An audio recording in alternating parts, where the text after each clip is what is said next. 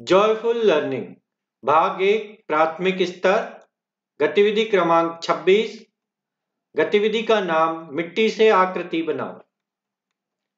उद्देश्य, बच्चों को मिट्टी से आकृति बनाकर ज्यामितीय आकृतियों की पहचान कराना। तैयारी, मिट्टी इकट्ठा करके उसमें पानी मिलाकर लुगदी बना लें। प्रयुक्त सामग्री, मिट्टी एवं पानी। गतिविधि की प्रक्रिया।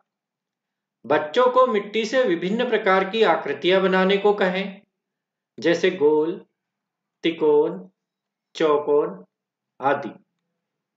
कक्षा के सभी बच्चों को तीन समूह में विभाजित करें। तीनों समूह को क्रमशः गोल तिकोन चौकोन आकार की आकृतियों को अलग अलग छांटने को कहें।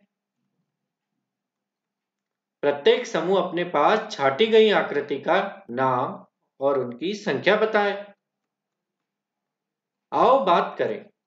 परिवेश में उपलब्ध गोल तिकोन व चौकोन वस्तु की पहचान करवाए व उन पर चर्चा करें।